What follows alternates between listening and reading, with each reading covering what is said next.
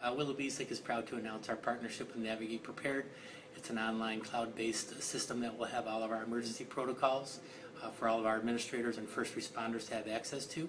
In addition to that information, they will also have digital footprints of our buildings, including all of our shutoffs and pertinent information, as well as 3D pictures of all spaces.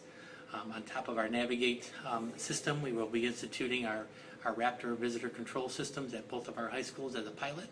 Uh, You will need your driver's license to to log in as a visitor. Uh, Background check will be performed and a badge will be issued for you while you- during your stay at the high schools.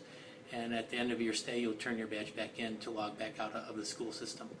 Uh, The last piece is our MARCS radios, our emergency radios that are tied directly into the Emergency Operations Center at Lake County, are being installed here in the next few weeks and will be operational before the first day of school.